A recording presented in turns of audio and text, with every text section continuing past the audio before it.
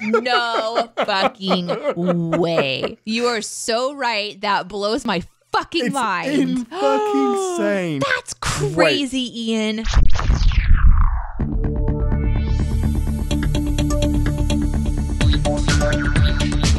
Captain's Pod, Stardate 510722.1. Welcome aboard the Starships Enterprise, and thank you for joining us as we take a brief shore leave from the world of cinema sins to explore the universe of Star Trek. I'm your Captain Ian Whittington, and she's fresh out of warp cores after dealing with an isolytic tear in subspace. It's Ambassador Deneé Hughes. Yeah, listen, it was a big situation. I've got it under control. Uh-huh. Mm-hmm. Everything is fine. I definitely need a vacation and a shower. The most important thing is that you're through running from these bastards. That's the that's the thing to remember. There's always another bastard waiting for me to run from them, Mm-hmm. though. This job never ends. I don't know what I'm talking about. Am I doing good? Um, You're doing am great. You're okay, doing great. okay. I, that was a few references from Star Trek Insurrection, which is a movie I absolutely love and most Star Trek fans despise.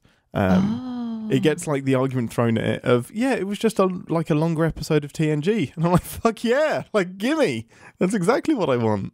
Anyway, how are you doing now that the fabric of time and space has been rescued by a warp core ejection? It's that weird time after a massive accomplishment where you want to tell everyone that you're the one responsible for making sure that everything went well, but then you also are okay, okay, quote unquote, being humble about it Oh, rubbish. and just realizing that no one's ever really going to know that you were the one that did it. Um, Yeah. And so I'm kind of wrestling with whether or not to make an announcement Mhm. or sort of try to massage and manipulate a couple of conversations with other people so that they do it for me oh, okay. Plant the seed. slash Yeah. reconcile that this just may never like no one may ever know but you captaining ian whittington Mm-hmm. and potentially podcast listener at home I, I just have to be okay with that My captain's log already says that it was my idea. I came up with it, executed it, and and did it. And you were actually against the idea. Um, you wanted to do something stupid like vent the main shuttle bay, and I was like, nope, eject the warp core. Let's do it. you Sorry. shouldn't tell me these things Eh, You it's fine. I controlled the transporters. i just switched out of like show mode for a second Oh no. and went into like I realized that I'm the one responsible for making this mess, you know? Like I'm the one that fought for you to be able to do this captain's pod show and now here I am being tortured by it. And but you come back. and it's my fault, every week. you know. This is my fault. That's what this is coming down to. Yeah, I'm not going to disagree. You brought this on yourself. You're like, hey, really Ian, he sounds fun. Let's let's work together a lot. He won't be annoying in the slightest. yeah, no. I probably should have thought about that a little longer. Uh-huh. Um. Yes. Well, too late now. You're you're on it. It's a, it's a- We're in space. We just have It's to live with late. it. It's a five year mission. It's in space. That's it.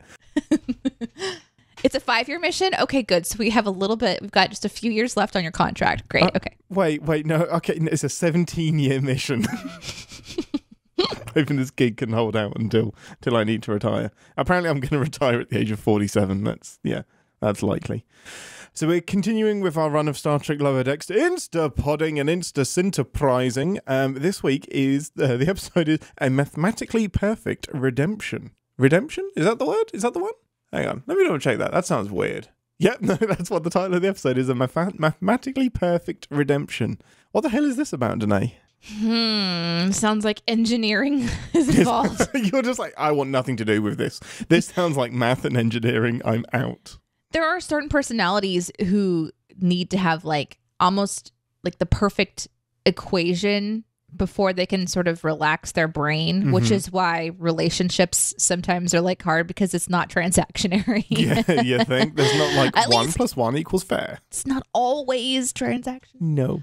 But uh yeah, I'm thinking that this sounds like it might be a personality that can't argue with the outcome Hmm. because it's it's an it's an equation. It's So interesting. who would that it? be? Who would that be Um, on the on the team? Tendi or Rutherford? I like. I imagine Tendi actually being quite, being quite like this has to add up. This has to make sense before I can move on. Maybe a bit Boimler. I'm thinking it's you know they haven't had like a strong Boimler episode since No, the season Jesus. started, No, so we we, are overdue Mhm. for one. So I'm gonna say Boimler, Rutherford, aka Robot Boy, Yes. and my Green Girl. Your green in girl. that order. He's the Yeah. best. So before we go into it, I'm because I flick through Twitter. That's what I do. There has been some controversy with this episode, and as much as like Twitter controversy actually exists, because not as many people as you think are on Twitter are actually on Twitter. So the very loud negative voices are probably just five people. But this is like I've I'm gonna say reasonable fans, reasonable fans whose opinions I trust. it split them down the middle. They're like, this wasn't for me. This is a massive departure from what Star Trek usually does. I didn't enjoy it. Or I love it. This was wild. It was crazy. It really worked. It's What is like, wild and crazy for Star Trek? Right? Like they pretty much break their own format a lot, but this one apparently goes really sideways. So I'm really intrigued to see if I like it or and how they do that. Like forced sex with a candle, uh, I mean, breaking right? sexual history and, and, and negative um, abusive patterns from an outside alien source via Beverly. Yeah, we've done a That lot. that's a lot. That's a big departure. Deep Space Nine is a big departure. Um, docking is a big departure. Okay, listen. That was Okay, no last more. week. We're That was moving on week. from no it more this docking. week. No more docking. Um, no more docking talking. How, however, if you do want to see some clips of me having a breakdown talking about docking, um, they are available on the Captain's Pod's Twitter. like anyone would be like, "Oh my god, yes, I'm." Oh. I, that's what that's what's gonna be the barrier to entry for Twitter for me is Yeah. going and watching Ian Uh-huh. react to a docking conversation. Hey, or you can do it on Twitch. You can come and see us on Twitch and it'll be there as well. Man, that was fun. Right, okay, with that, we will see you guys for a full debrief in 10 forward after we have watched episode 7 of Lower Decks. To the Cerritos!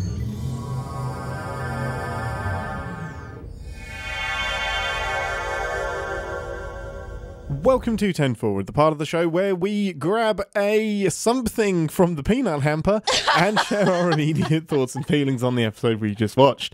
Most important question mm. first what would you like replicated from the maniacal AI? All right, I'm gonna go with something that's not a drink. I'm gonna break my streak and just mm-hmm. say I want an a- an areola candy.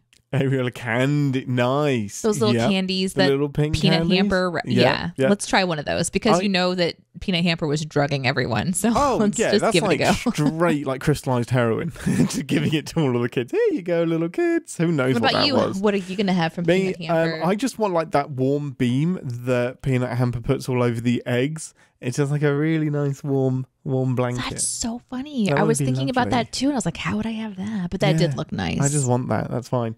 There's a few things that looked kind of quote unquote nice in this episode. Nice. Can we just say straight out of the gate here? Yeah. This is Stardust City Rag. This Yes. is that, you know, Yeah. this is the one that if people find our podcast and they're just kind of curious about our thoughts on a season Uh-huh. video, this is the episode people are going to be like, okay, but what did they think about Peanut Hamper episode? Yeah, this is an infamous one. This is a and I to say that like this is a departure from what Star Trek does is a fib. Like this is still a standard Star Trek thing. It just focuses on a different character. Like this this happens in Star Trek. Um so anyway, before we dive into this bonkers episode, um, we find ourselves reunited with Peanut Hamper, which is a sentient exocomp um, who I'm not going to say evil, but is independent and was Self centered. yes ejected from the show. I think in season one.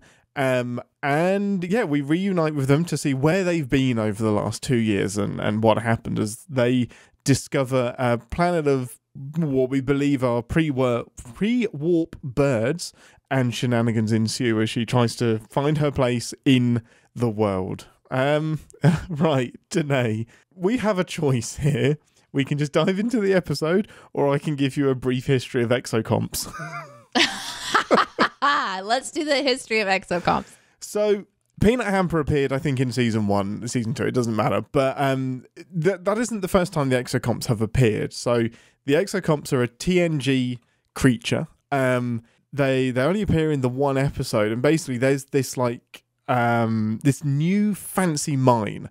Um, it's a laser drill thing that's going to extract all of this like super duper power source for this planet of aliens, and Starfleet are like really, really invested in it. And they're like, hey, if this works, we're going to roll this out to a ton of planets. But there's tons and tons and tons of problems. So this genius scientist has invented this little AI robot with a built in replicator that can get in and out of trouble, basically get into like the small places where nobody else can get into, diagnose the problem, replicate the nose piece to fix whatever they want and then get in and out of there. So they're disposable. They can just go in there, get blown up, it doesn't matter, and they can fix any problem. Data is suspicious that they're actually sentient and that they're actually mm. alive because they were he like they were commanded to return and refused and then realized that the problem they were asked to solve wasn't the right problem found the problem saved everybody and came out and then there was another problem where they were sent in and refused because it was too dangerous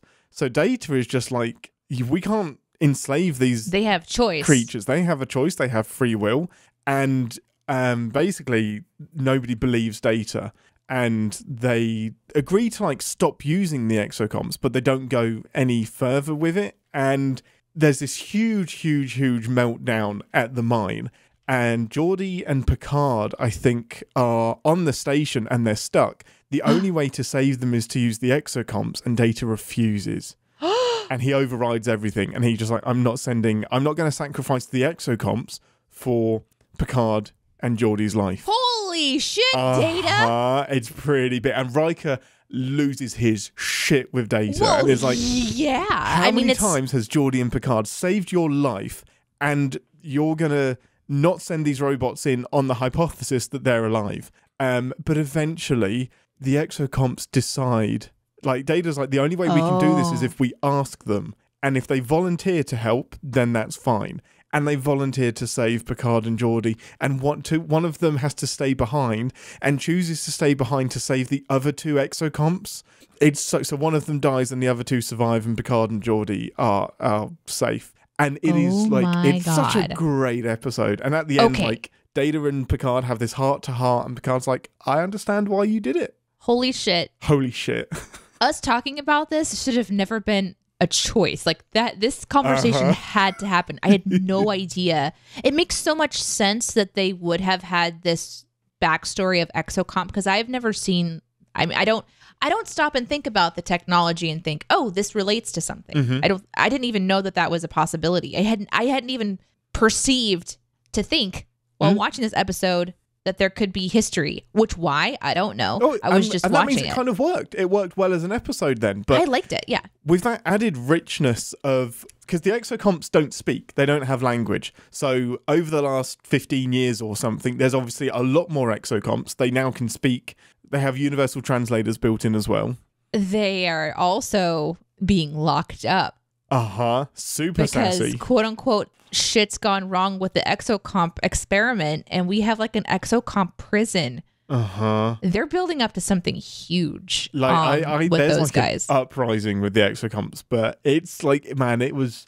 it's such a great episode and it's such a great thing to call back to as well because as soon as you make like we're like society in general we're close to like as soon as we develop an ai that realizes it doesn't need us we are in so much trouble like they're building up to something because they've not only introduced a new warp capable population Mhm. in this episode, they've also introduced a major villain to their Mm. entire universe. And that major problem that they have is even just joking around about just pinging the Borg for fun. oh my goodness absolutely have- could They have a problem on their hands, Uh-huh. and clearly something has happened before because Starfleet's just locking up these little, Mhm. you know, what are they called? Exo exocomps exocomps. yeah So it would be interesting if down the line this new warp capable uh, population ends up saving Starfleet Mm. from the problem because they've set up this massive weapon they clearly have that they have access well to. But it would be really interesting, like just uh, like the, it would be very ironic if they cause trouble and the solution to the trouble Mm. is the community that rejected Peanut technology Hamper, the Peanut Hamper forced back Yeah. in play because of what Peanut hamper. it would be very fitting So I'm, I'm curious how long the writers are thinking, like, because I started watching this episode thinking this is just a mindless episode. This is just the, the writers just Oh, needed a mental break, you know, Uh-huh. like we all put out that script every once in a while that's just not the same as you know their best out. work or like Uh-huh. you know what this paper it it isn't it, i don't have to put in an extra 16 hours into it it's Mm-hmm. just it is what it is and I'm, i was thinking because i kind of felt like this episode could have been that. And the reason is because essentially this is a story of like th- there's lots of different story elements going on in this, but you've got like a community that doesn't want to change, that is kind of resisting change, and then is essentially uh, comes to terms that change which prob- would probably be good, and there's there's positivities to change, and then they do change, and then they're hurt, and so this is. uh, And then you've also got the love conversations, but you know under under all of that is lower decks version of how to pull this episode off, and I really like how they pull out something from TNG and like hyper focus on an exocomp and Oh, it's great. let's let's answer a lot of people's questions about this hmm. item in the star uh this this the universe that has so many things that they could pick hmm. from.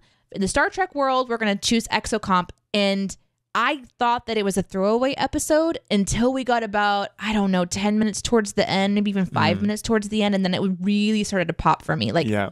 when this planet of owl creatures or whatever starts to engage with the technology actually when the scavengers came to take the technology and then they got in that ship and that ship went into space and started shooting stuff i was like now Oh, i'm in shit. There Like, we go. that was fun that looked really cool and so pretty like their new that new ship that looks like a bird but it's not like the Uh-huh. bird of prey It's so it's like design. a new bird Yeah. oh it's so cool Kind of looks a little bit Romulan-y, but um, yeah, it's perfect design for them. And the weapons were so pretty, and the Cerritos Yeah. just gets beaten up again. Like I love the damage they show on the ship. Like They they, really- they do that. They yeah, they kick the shit out of it. yeah at the beginning Um, of this episode and in the end they showed it kind of in disrepair Yeah, um, it's it's what Lower Decks does best for me, and that is picking up the hanging threads from all of Star Trek. Because the best thing about TNG and Voyager is also the possibly the worst thing, and it's that bottle episode nature of everything. So the amount of aliens per week, technologies per week, disasters per week.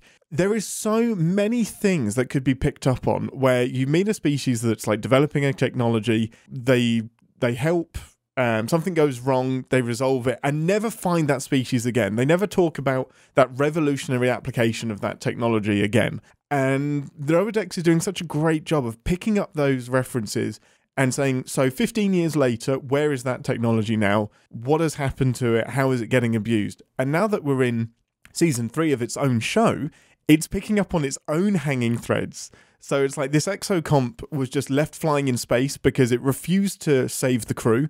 The Titan came in, saved the day, and got them out of trouble. And then we're all just like, huh, I wonder what happened to Peanut Hamper. And if it was the days of TNG, there's a good chance that it never gets picked up and we're just left to wonder where Peanut Hamper went. But I love that they, they pick up on it and revisit of what happened next. And I, I think they're going to do more of that because the a the the AI that was next to Peanut Hamper at the very end of the episode, the one where they're doing the zoom out and they said we're going to do horrible things together. That AI is from another episode of Lower Decks. i So was wondering They're gonna team up. So that's voiced by Jeffrey Combs, who Combs, Jeffrey Combs, who is legendary in Star Trek. He's played. I think he's appeared. There's Majel Barrett Roddenberry, who is the ship's computer. She's appeared in the most episodes and the most different franchises. Jeffrey Combs is very close because he plays an Andorian in Enterprise, um, a Ferengi and a Vorta in Deep Space Nine. I think he play he definitely plays somebody in Voyager as well, and I think he appears in an episode of TNG. So he just turns up as like a different alien every now and again. He's so so great, and he voices this evil AI as well. So it was really really clever to put them together in the same place. Um, yeah, it's uh, I think we'll revisit them. You're right. This is just part of the fun. We always say it every week that Lower Decks is just so great at. And it's being able to animate some really fun things that either are from the all the other previous iterations of Star Trek, but then even in its own story to kind of fold back in. Um, yeah, I, I think I can understand why people wouldn't like this episode though. So even though I did like it, I spent most of the episode not liking it, but by Yeah. the end I liked it. And I think like as I was processing my own disinterest in what I was seeing at the time, I'm like, yeah, I can I think I can understand why people would be like, this is this Like, is not my jam. Like especially if you haven't seen the episode that Peanut Hamper was in. That I, previously which I haven't. Yeah, of course. Like that previous, I was really worried for you because A, you haven't got the background of the exocomps. You haven't got the background Nope. of the Lower Decks episode where Peanut Nope. Hamper joined the crew. Nope. So I was like, is she going to think we skipped an episode? I Like, did 'cause that- actually. yeah, that Yeah. previously on. I nearly messaged you saying, don't worry, this isn't previously on last week. This is previously two seasons ago Mm. I or figured whatever. it out. I Yeah, did I figure it out you might. uh, pretty quickly because it was saying like time kind of went on, and I'm Mm. and I you know felt like, and even honestly, truly.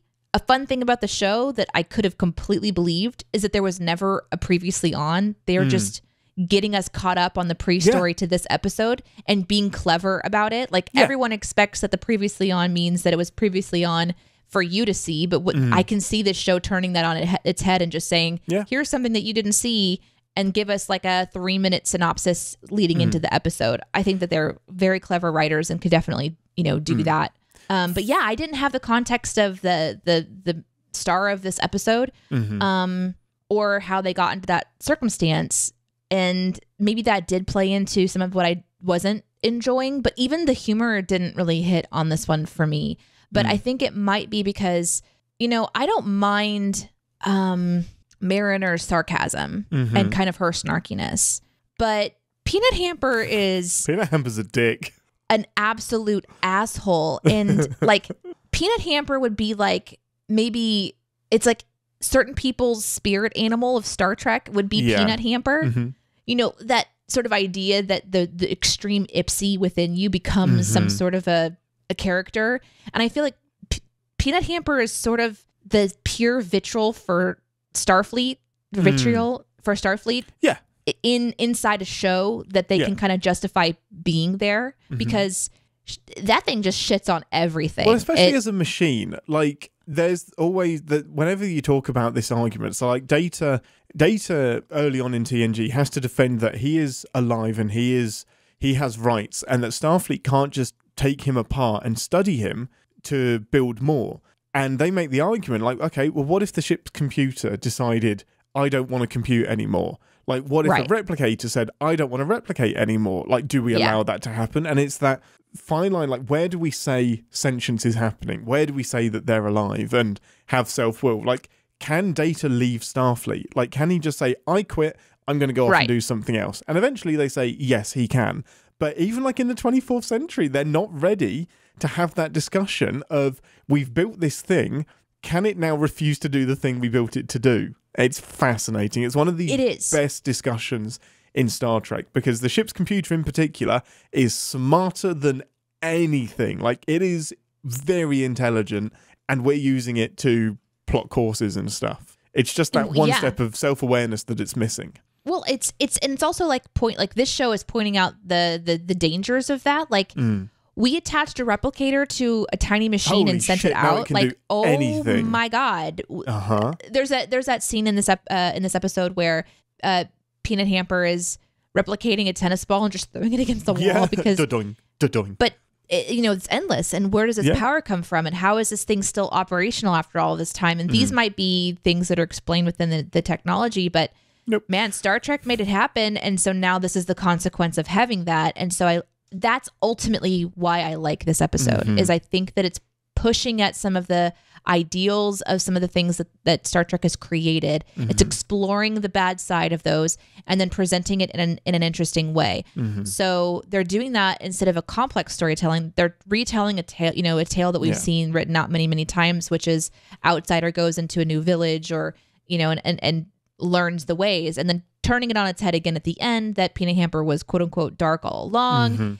And, but not only just joking, but also did something pretty crazy pretty to, to get their way. Because she doesn't believe in Kinda organic worked. life. She doesn't believe that organic life is worth saving or thinking about. Um, Yeah. It's just, it's just an annoying kind of, you know, inconvenience. And yeah. I don't mind seeing that, but peanut hamper peanut hamper it was hard to swallow. Mhm. um and and some of the story stuff was kind of like I okay, sure. Yep. Let's go for the third laugh on the sex scene. Let's try for that. Yeah, you know, so there's like there's a lot of like, oh, how does a bird have sex with a robot jokes? Yeah. you know, and Um, sometimes that was clever, but a lot of times I was like, I think I know why I'm done don't now. like it. Yeah. I think that yeah. I'm so I've got two thoughts. One is that this is incredible storytelling for me. Like this Mm. it's so so clever. It's pulling pulling at something that we know, diving deeper into it. It's creating a new thing, and then, hey, how would we interact with that new thing and how would it go wrong? The, uh, the reason I love this episode is because it does follow the formula of some of the less popular Star Trek episodes. So a little bit throwaway, a little bit, hey, what's this tertiary character doing? And it's inconsequential to the wider universe and it's like when we do a lower decks episode on the next generation and it's just like these people don't matter. There's an adventure happening but we're focusing on the the other people. So it's kind of a bit throwaway. But for me this fixes that in the last 5 minutes by mm that awesome twist of Peanut Hamper being evil all along and sending the message because I didn't see the twist coming. I thought, oh, we're going to show that they're they're not evil all along and they're fine.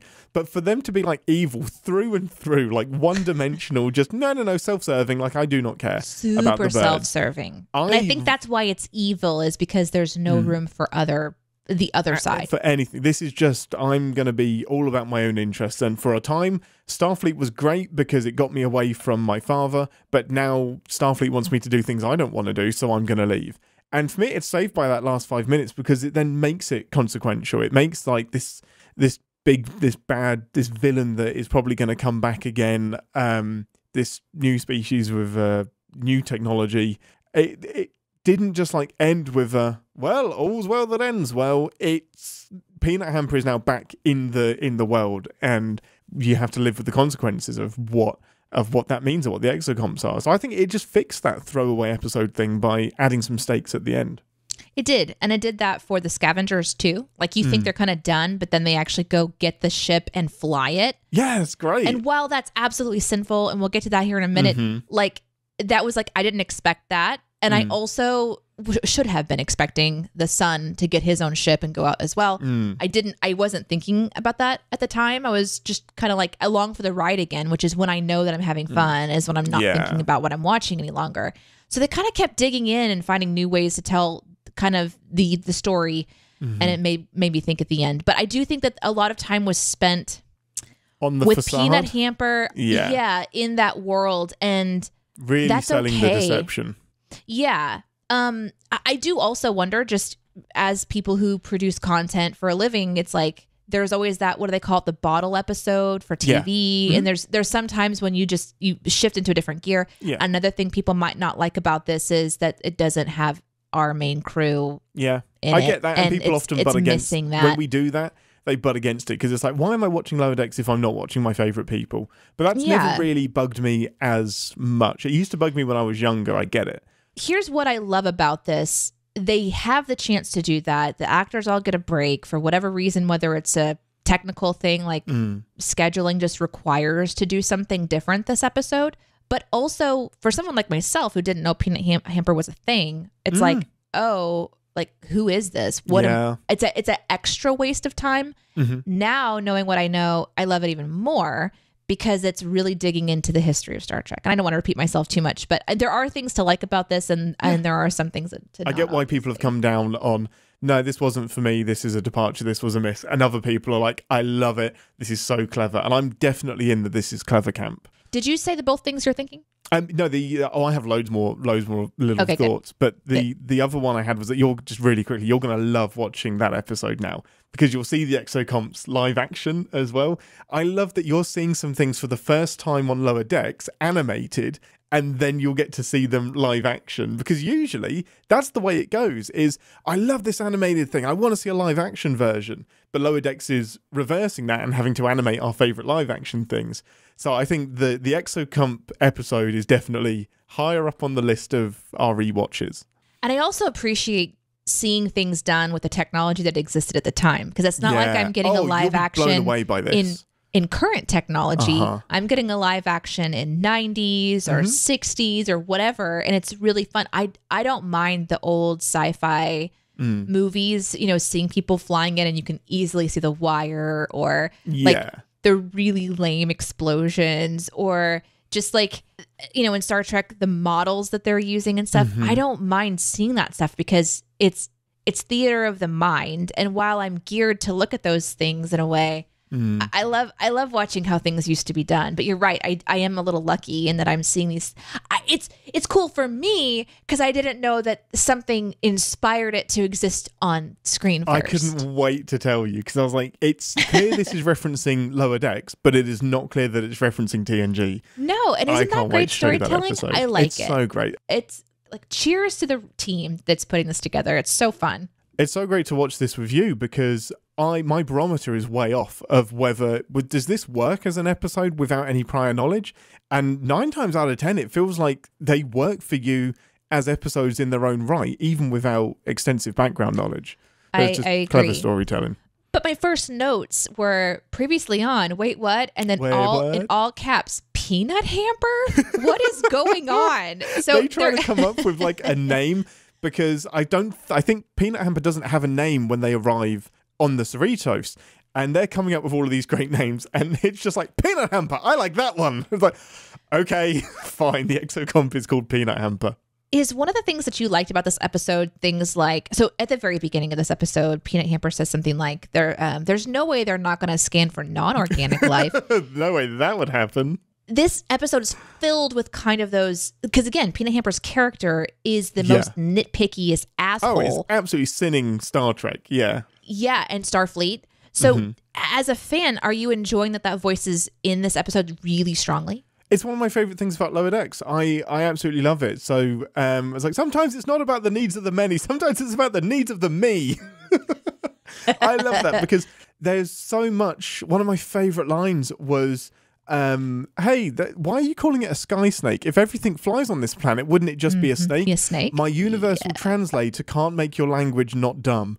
Like because because the immediate argument is, well, wouldn't aren't you blaming the translator for whatever word that bird said, translating it into sky snake? But if the translator is smart enough to still pick up that their word for sky was put in front of snake, it's so so clever. Like it's that the this hard this show would be so hard to sin, and it is so hard to sin because it is constantly sinning itself in such a loving way.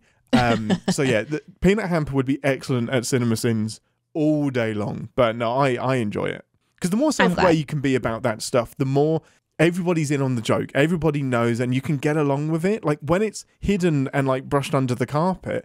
For me, it's harder to stay in the universe, but when Yeah. we address it in universe, that's my sweet spot of okay, everybody knows this is ridiculous. My brain is now more comfortable enjoying it, which I know is a me thing. ridiculous and also just points out like for example not scanning for non-organic life that's Mm-hmm. the show saying hey we need to be aware Yes. like uh, aware that there is other kinds of life and it's Yeah. really I, I liked that part of this episode the love it. reminder that in this universe ai is like a conscious yeah. Decision making entity that needs to be respected and they're showing that with the dolphins too in their lingo Oh my just pointing out like Hey, would you how have scanned for dolphin life? right and it's it's it's constantly pointing out how up its own ass it is about being human and being human shaped or, Mm-hmm. Yeah. or thinking organically Absolutely. so I, I love that because as a person on planet earth that needs to constantly be reminded that it's not all about me it's Mm-hmm. nice to watch something that calls into question like hey are you aware that you're not the center of the universe then i yeah, like it especially a show like Star Trek, which its its mo is acceptance and accept everybody in every form. It still fell into the trap of humans being the center of everything and the the Starfleet being the good guys. And it's one of the best lines in the Undiscovered Country is when they're all at dinner and Uhura or Chekov says, "Where's um." Oh, what's like, where do you have no humanity or something? And the Klingons are like, what are you talking about, humanity? I'm a Klingon, like, you dick. Yeah. Like, what do you mean Yeah. human rights. Like, It was it's awkward, but alien right. important. It's so awkward, but it's such a great thing to point out. Yeah. something I else love i loved about this episode that it that it did was the title card was Yes. changed Yes, that was my how next thing. unique was that I loved it. And I can see why people didn't like it, maybe, but I loved it. You mess with the title cards, and I'm all there. like, the music was more dramatic. yeah and, And kind of softer softer and it was shorter just to show us the journey of Peanut Hamper. Really, really clever time saving device as well to show that she's been floating around for for a long time. there's something really important about um, consistency Mm-hmm. in mm-hmm. storytelling because the audience, yes, then they trust you. Like there's a reason that at the beginning, like with it, even in this show, we tell you where the segments are because then you're like, mm-hmm. oh, I know where we are on the show, and that gives you a sense of place in the world, and it, it's a very important part of us in being humans. Like we look for those codes and those patterns for survival. Same with entertainment. We want to know where we're going. So I can see how also changing that would immediately make a portion of people uncomfortable Mm-hmm. just instinctively. Might have not might not even know why, but you're just like waiting for that sound that you know or You that are. visual cue that, That you know. cutaway. you- Yeah. yeah, when you don't have it, you're like, what was that? But for me, I thought it was a really beautiful artistic expression. I liked it. I it's when you mess with stuff that isn't in the show. I love it because then your talk is So like the characters don't know that there are opening credits. They don't know that what they've just experienced is a cold open, and then there's the credits and then the show. So for me, it's a chance to directly speak to the audience. Um, 24 did it in a great way. When somebody would die and at the end of an episode, you weren't too sure. The opening credits would be silent. So there would be no theme music, no nothing, and the clock that ticked at the end wouldn't have a beep boop because you know it's like you know the character has died a moment of silence, and that's directly speaking to the audience. I love that, and sometimes like House would do something funky with the opening credits where they would change the music, and it's like. Oh shit! This episode is going to be serious Different. because Something's you different. haven't used the upbeat Yeah. music. So Yeah, for me, I love that. I it's love it another so element much. of storytelling. And Mm-hmm. when you have a group of people that's creating something and they're all aware that every second is a chance to enhance storytelling, it's Yeah. a really cool. It really Um, is. Did you see the Rutherford mask floating in space at the beginning? No, I didn't. There was so right right at the opening credits. I think it was maybe even in the opening credit section. There was this face device floating in space and it had like a, a Vulcan ear on it on one side and then it had Oh, like a little visor over half of it. So- and I wrote down, did you see the face thingy that's floating in space? Is that Rutherford's thing? It does remind me that Rutherford did lose it. Like he did. There's something that happened and it was pulled off of his face in an episode, and I think it was this episode. So it makes sense because Yeah. it seemed to happen after the explosion. Yeah, I think. Eh, eh, in fact, I'm certain it is because when Peanut Hamper says, "Oh my God, that person died, and that was going to be me," that's Shax. So Shax eventually eventually sacrifices himself to save the Cerritos, and then two episodes later, he's back, and nobody explains why. And the lower deckers are like, "Wait, Shax is back? How did that happen?" And it's just it hits home that the A team have been on an adventure and rescued and resurrected Shax, but we never find out how because we're the B team. We don't know. We weren't part of that adventure. So he just turns up and they're just like, what the fuck? How? Where did Shax come from? Oh my gosh. It's so great. Well, It's I so, saw so that, great. and to me, in an episode like this, it, I wonder if it's a wink and nod. Like this device is also going to float out into the middle of God knows where, and Mm, end up someone else will pick it accidentally up. influencing an entire, you know, thing. Yeah. And also, and and if he's lost that visor, that means those weird memories and glitches and control stuff might actually still be alive for someone else to pick up later. It could be. It could, I mean, if they pick that up, I would love it. That's amazing.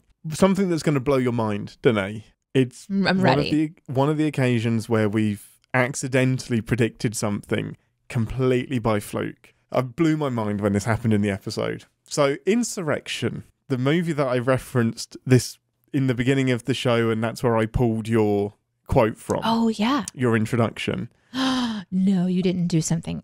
I- People will never big. believe that we Nobody record will. those out of order. They'll never believe you. People will assume that we saw the episode, did the intro, but we did the intro, watched the episode, and then we come back. So the plot of Insurrection, very, very briefly, is that Data goes rogue and he's on a planet doing some like archaeological archaeological stuff and studying a species that hasn't got warp travel yet.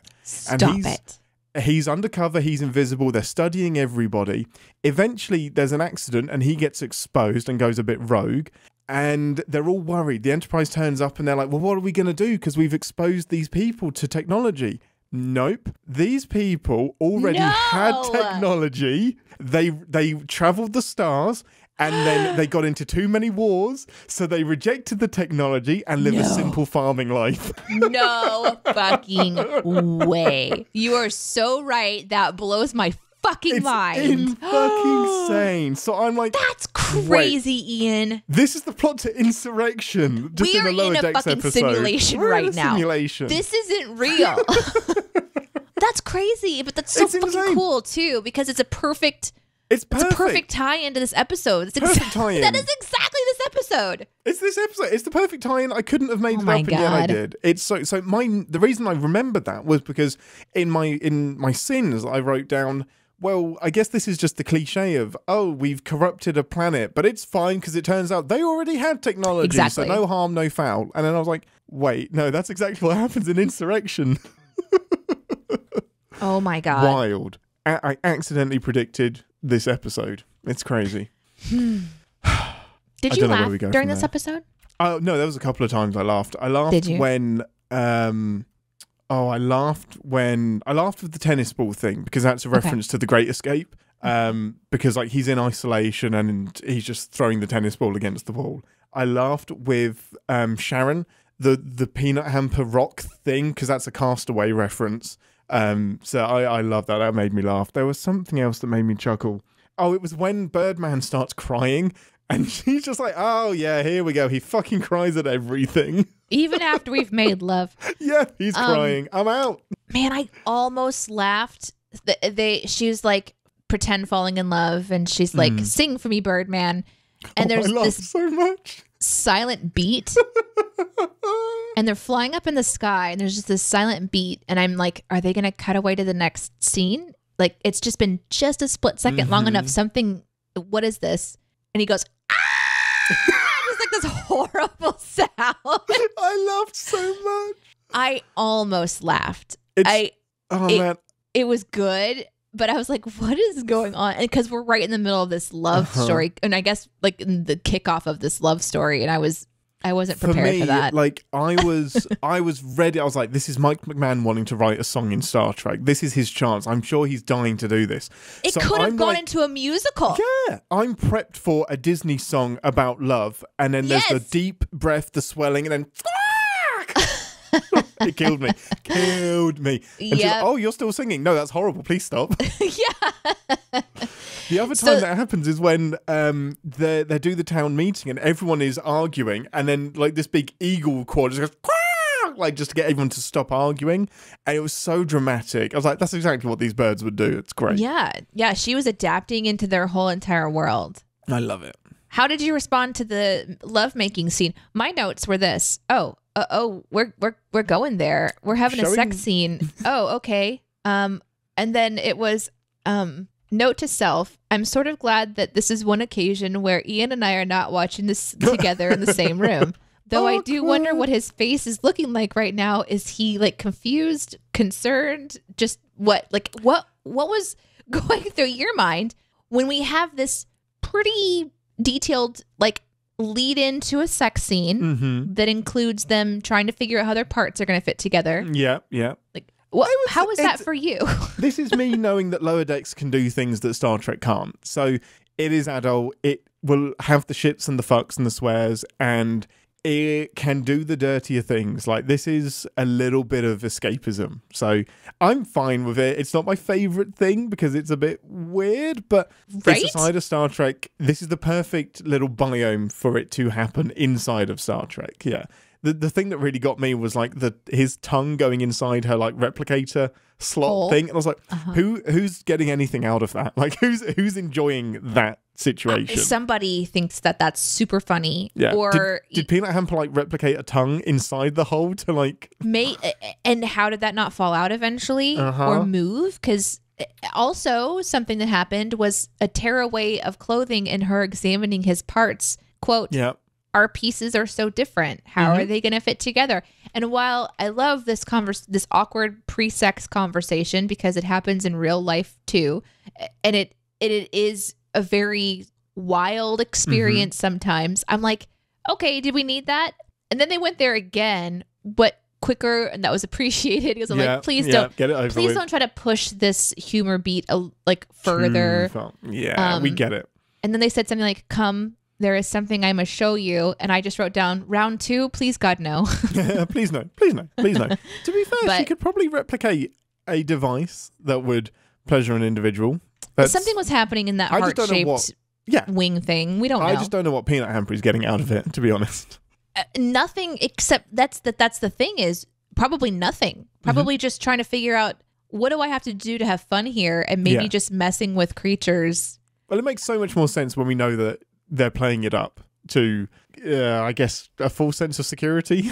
yeah. I suppose. Although, you know, she it ends up working in her favor because Yeah. or their favor because Peanut Hamper finds technology and is able to find a way to Yeah. get off of this planet. Rather so than stealing funny. the technology herself, calling for backup to get back in with Starfleet, which she doesn't actually care about. I guess that's a sin, but I'll Yeah. I don't know why she's really. That's an early sin back. for me. Just Yeah. remember I said it because I don't want to write it down. Um, the, did you notice the literal turtle doves? So No. because everything on the planet is flying, one of the Mm. cutaways when they're about to do the business is like these turtles that are flying out, and I was like, "Oh, flying turtle, turtle doves." Damn it! Turtle doves, Damn it, Dyson! Fucking turtle this? Yeah. Um, my last little throwaway point was that I love that Boimler was unable to pronounce the planet name because there's this like thing where no matter how complicated the planet is, everyone can pronounce it, and he's like Areolis, Areola, Areola. It's a pre-warp planet. Ablit, bullet. Yep. Uh, Nope. Mhm. Oh man, any final thoughts? Um, if I wanted to say anything and super emphasize my favorite part of this episode and one of the biggest, maybe I could even say the only reasons that this would be recommend for me pretty strongly on Mm-hmm. an episode that's probably controversial, it is to see the cool spaceship and technology because it does this really cool weapon thing where it sort of fires up electric electricity, like it pops Mm. In some sort of taser Uh-huh. and then the electricity pops together in the middle creates a cool like beam ball and Yeah. i think i think after the son takes over the ship and he has that command central looking Mm-hmm. thing which was awesome he sort of like caws out and it made me wonder if the technology of the ship is powered by their vocal capabilities be which would be cool. really cool for a bird Yeah. and it just blasts out this energy wave and i'm thinking this is a cool looking thing and i know i said it earlier but it was beautiful to look at Mm-hmm. um and one of the my favorite parts was just like man this is this this is the rebirth of a warp capable society and we don't get to see that every single time we watch star trek I love Starship Porn. I love it. It's one It's of so my favorite pretty. things. Just new aliens, new starships. It doesn't all have to be laser beams. Like there can be some inventive weapons as well. Yeah, I love that. yeah it was super cool Okay, well, we've gushed on that way more than I expected, actually, and I think I like that episode even more than I thought I did. Um, yeah, it's doing some good stuff. Cool. Well, with that, it's time to head to engineering. For this instance is futile. Bird stations, everyone. Warning. Warp core collapse in 10 seconds. This is the part of the show where we re-engage our sin birds, remind ourselves that no TV bird is without sin, even our beloved starbirds. Deneé, you go first. Ooh, um, yeah, I just it's it's the coolest ship that you've ever seen, and it looks awesome. But how does he know how to fly it? That's Yeah, Maybe- it's the ancestors, yeah. it seems like both the scavengers and the bird people both wouldn't have an understanding of how to fly completely ancient technology No that clue. doesn't just scan you and then work for you, right? Maybe it Maybe does. it does. I don't it know. does. It's, But it seems pretty sinful to me. No, that's pretty sinful. I mean, just the fact that the ship still works as well. Has it been in like low power saving mode or something? Like you managed to break orbit and all weapons, and it's apparently can be piloted by one bird as well. Just One- one one person. just that's one It. confident cock. Yep. Quack! Firing phasers exactly where you want them to fire, and not at the Exactly. Everything goes perfect. which could also be a threat. Yeah, exactly. Yeah. How do you know? Oh, you, you know which one is what? Co- Cool. Of course you do. That's fine. Um, my very, very first sin was that it's pretty bloody lucky that Peanut Hamper on her little makeshift warp thing, which I love, just one nacelle and then 0.3 of warp, manages to land anywhere near a fucking planet. Do we know how far apart planets is? Like, it's called space, not things, because there's a lot of space out there between the things, or else it would be called things. Um, it's very lucky that she gets anywhere near a planet, let alone a planet with life on it, let alone near the life on that planet. One of my sins leading up to that moment was at the previously on section where Peanut Hamper is out in space observing the shenanigans that it's going on, and Mm-hmm. we're kind of getting an idea for personality, etc. But she can hear them as they're exclaiming and screaming from the ship. But I don't think that you'd be able to do that in space. But I haven't ever been there before, so Unless it's on a com channel and she's listening Maybe. in, perhaps. it sounded like it was in the distance, like they were going for the in the distance thing. Uh-huh. Anyway, I, uh, sound does not. It does not travel in a vacuum, or it does but it can't be hurt. I don't know. Whatever. It shouldn't work. Um, we kind of mentioned this, but I really don't know. Like, I know the exocomps have a great power cell ability, but is it good enough that you can just replicate tennis balls willy nilly? Like, that still feels like a lot of energy is being used to create a thousand tennis balls. Yep. Conserve some power, dude. Uh, silly one for me would be when Peanut Hamper is asking to have her chin scratched. Well, she says actually go to the other side, like Yeah. get the left side too. But then he actually goes to her chin, and I, that's Mm-hmm. an easy sin for just be like, that's not her left side, and just have a fun silly you sin in a moment. asshole. Why are you ignoring her? We, I mean, we have just a just a reminder as writers for everything wrong with kind of style. Like you're finding things that are wrong. Like for example, how would this person know how to fly this ship, this ancient ship? Mm-hmm. That's kind of one that's an easy ask where people can kind of nod along, being like, "Yeah, it's a good question." Yeah, Uh, exactly. But we also sin stupid shit like not scratching the left side side of the chin. Yeah, exactly. We have to get the silly stuff in there. Um, there are also a lot of ships out there in the galaxy, so it's very lucky that Peanut Hamper's distress distress call was only picked up by the Cerritos, or the Cerritos is the only one that responded. Like, and they were basically within a few hours distance away from the planet. Like, that's a big reach. That would be sinned a lot, A lot, a lot. a lot, a lot. Um, uh, one of my fun sins that I'll go with too is watching all of these adorable creatures like hatching and these owl people. I think it would be kind of a fun moment to say like, what is this Star Trek's attempt attempt at a new merch grab? You know, like Yeah. releasing in time with this episode or just all of these Aoriers or whatever. Yeah.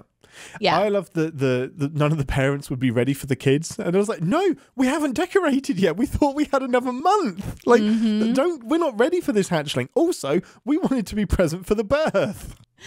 Ah. Amazing. I only had, I'm sure there's more, but I only had one really, really big one. And it's the cliche at the end that um, when they still think that Peanut Hamper saved the day, they're just like, yeah, you can rejoin Starfleet, you can come on board. Like, the good, there's this cliche that the good thing you did, as long as that was more recent, it wipes out the bad thing that you did. As long as you do them in the right order, that's fine. I literally wrote down the same thing. My sin is um so you saw Peanut do something cool and did a great job. So yeah, no punishment for you. No punishment for abandonment. And it it works in the reverse as well because um, Picard will always be like when he's in the middle of trouble, he'll be ignored despite all of the good things he's done. So it's like, so you value him, he saved the galaxy, but now because he's inconvenient, you're gonna you're going to ignore him. So it's always you're as good as your most recent performance is the the cliche. Yep. I think I would sin explaining your plan. Like, so the scavengers show up, and my first question when I was watching it was like, "Why are you telling them what you're doing? You know, if you want to Yeah. do something, just do it." Like they're like, "Hey, we're here because da da da da da da da." Uh huh. Just And- transport it up. You already have permission. Uh, they did well. That, yeah, they think they have permission, which you Yeah. find out later. So then my sin changes to why aren't you mentioning that you were allowed to come here in that first initial speech? Oh, And hey, it's- Peanut Hamper, I recognize your voice. Oh, uh, hey, we, we got your call. We're here to pick up the something. Would instantly clear it up. Now it's for the sake of the twist and the storytelling, and that's totally fine because I enjoyed I enjoyed it in the moment, and I think that you need to have those moments so that the brain can have fun and the storytelling Mm-hmm. can have fun. But in retrospect, it's like that's the first thing you would say is, "Hey, got your transmission. Here we are to pick up the junk." Yeah, thank you. Here's my stuff. Um, I don't really think I have much more to be completely honest. Do you have any others? I just have one. There's when everything is going to shit at the end. The um, you know, the owl son says something along the lines of "Soon there will be no home left to save," and I'm like, "Yes." And why are we walking? Why are we talking right now? Why are we doing something? go. Like, it's that perfect example of someone telling you that they're in danger while not doing anything about their danger. I, I think that'd be like, yes, and we're lacking some very serious like urgency right now. Let's do it. Stop talking, more doing. Yeah. One thing I've noticed is that our assistance sections for lower decks are quite short. And for Very- Picard, very short. it was like Super most of long. the show. Oh, it's so hard. It's so hard. I wonder now, though, if I would feel differently about Picard. I kind of No. want to do a rewatch at some point in time. We can, we can definitely. But I I I think the evidence speaks for itself. And I love Picard in its own way, but Lower Decks is top tier, new, really good stuff. Really, really It's good really stuff. good. I'm loving it so much. Um, well, that's it. I think that was an awesome episode. Um, thank you for listening, everybody. There is, you will have noticed, there was no live show on Twitch this week, but we will be back um, next week, uh, Monday at 12 p.m. Central on Twitch to do episode eight. Um, so yeah, thanks for listening, everybody. It's squawk from me. and it's uh well I okay so you did the squaw which is essentially for the flock which is yes, great. for the flock. So I'll do uh it and it is um smell you later literally because y'all shit everywhere from me. we are talking directly to you. And live long and prosper. Thanks for listening. Want to connect with the show? Our hailing frequencies are always open through captainspod at cinemasins.com. Like, comment, and subscribe on your podcast player of choice, and be sure to visit cinemasins.com. And thank you for joining us, Sweetie. As we burrito Cerrito. Okay, why are there owls on the thumbnail? Look like Wookie owls. What is that? What is that? out! out! Right. Much love. Bye-o. See you soon. Do you mean to stop recording? Um, no, just keep it running. It's fine. Yeah. Okay, bye. Into the unknown. Well, my morning, bless him, was helping Aaron Dicer um, because he has some new brackets for like his monitors. So he's got like, there's a monitor up here now and a monitor in front of me. But to get it off of the stand and to put it onto the bracket, he had to unscrew it from the stand. But one of the screws was rounded off. So bless him, he spent two hours yesterday trying to unscrew it and use pliers. I tried for half an hour this morning until I got a hammer. Whoa. And. I just got a hammer and a flat-headed screwdriver and Holy shit. sheared the top of the screw head off. And then it worked. Oh my gosh. Uh-huh, it's the most manly thing I've ever done. I was like, Aaron, like we have like 10 different sizes of pliers, all of these different screwdrivers. I said, Aaron, do you have a hammer? and he's just like, Let's go to the Nope. next level. nope. How about a saw? There is no problem a hammer cannot uh, solve. That's that's not true. You just need to use a bigger hammer. Or your imagination. My imagination would not have helped in this. I could not imagine the screw loose. I meant use your imagination in ways to use a hammer. Oh, got it. Well, I did, to be fair. I used it to hammer the screwdriver into the screw. We're all on the same page. A hammer was a very bad slash good idea. My hammer! That's the one. That's the one. Oh, yeah, I love to hammer things. You know, it's my favorite thing. You know. Kiddo. I was watching a Moko made uh, stream a couple days ago. Mhm. No, it was like uh, like a week ago maybe. And they have this point redemption on Twitch Uh-huh. that is fascinating. It's like pronounce a word. Oh, yes. Yeah. It was so funny. This word was absolutely fucking crazy. Uh huh. I can't remember it, and maybe it's best I don't because it was anxiety inducing. But essentially, Uh-huh. what you do is you open up your Google browser, you type the word in, and then you hit the pronounce Yeah. thing, and you could hear it pronounced. Yeah. Slow it down a little bit. I think it was like a 12 syllable word. Uh huh. And then you press the microphone button, Uh huh. and Google listens to how you are pronouncing it Yeah. And tells you where you're wrong. Okay. Yeah. And the goal is to get it 100% right. okay. 90 minutes. You It spent. took them 90, Oh, no, them, no. 90 minutes to get this word. Oh, wow. so it was Devin leaning in Mhm. and saying this word, and then it's showing you where the errors are. And then Derek leaning into the microphone back and forth That's for really 90 funny. minutes until they both got it. And 90 so- minutes. That's a Mhm. long time. It was crazy. So I I was trolling them Of course. and I said, "Well, I'm going to try it." So I recorded my screen on my computer and then I pretended like I did it uh-huh. and then I linked them in the chat to the video and said like, "Well, nailed it. looks like so- looks like someone can get it on the first try." And they're like, "No!" And they pulled it up and then I just totally botched it. Oh yeah, yeah. You butchered it. nice. The chat is just exploding with excitement and there's some people in there who are Babs fans. Oh, nice, nice. and they're like, they want to hear Babs say it. So I recorded Oh, no. Babs saying it and sent it to him. Oh, so I great. Bet she fucked it up completely. She did pretty good actually. And then she ended up with motherfucker. Motherfucker. Okay, this is Babs saying it. Mm-hmm. Are you ready? Yeah. Arsinosa, Naya, purification, motherfucker. Mm, nice. It's on loop. She got pretty close. I think she did better than you did. Flossinosa, something, something, something. Flossification. Motherfucker. motherfucker. Flossinosinalapilification. Yeah, flossinosa nihilopilification.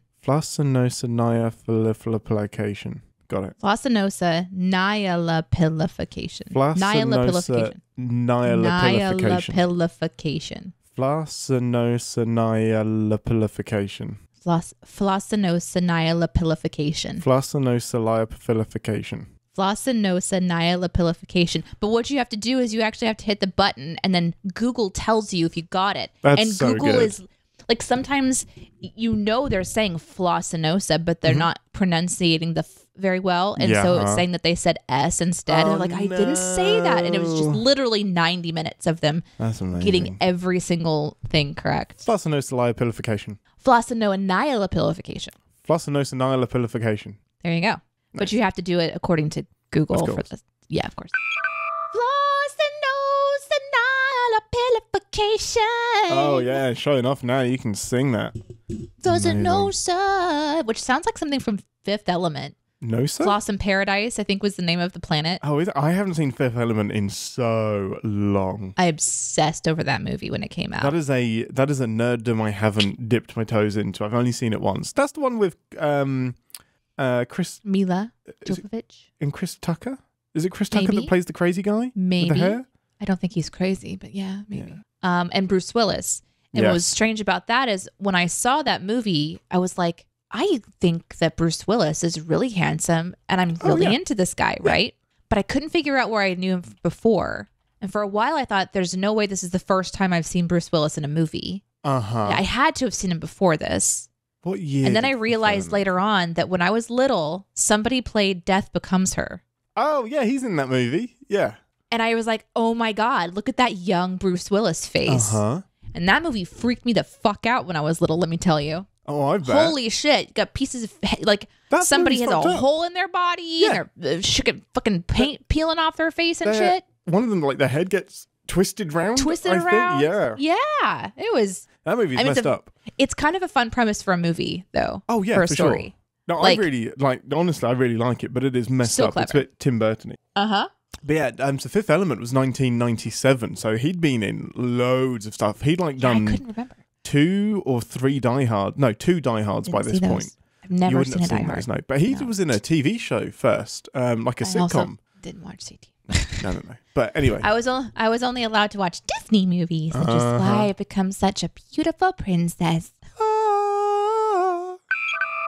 Did you know, like, if I said, man, you're looking yoke today, what does that mean? Maybe a little bit um undone, a little runny, a Oh, little Okay, good. So it doesn't immediately pop into your head as a saying. no. Because I got back to the house yesterday and one of Aaron's kids said, Ian, you were looking mighty yoke. And I'm like, so Is that like swole? Is that like yeah, strong? Like, as in, oh, like you can carry the fit. yolk of a like a yak, like a yolk. exactly like that. But I was just like, I'm looking eggy. Like, yeah, I went to egg too. Yeah, I was. are, you, are, you, saying I don't look well? like, well, what are you trying to say about me? And Thank like, you. No yolk.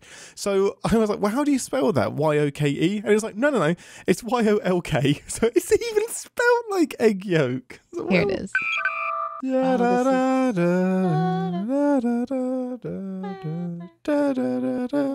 Do do do. It's Jurassic Park. It's a massive park. What could possibly go wrong? Hmm. Bum, bum, bum, bum, bum. Bum, bum, bum. Bum, bum, bum, bum, bum. Bum, bum, bum. I've got a cup of tea. It's made with milk and three sugars. It was so nice in my belly.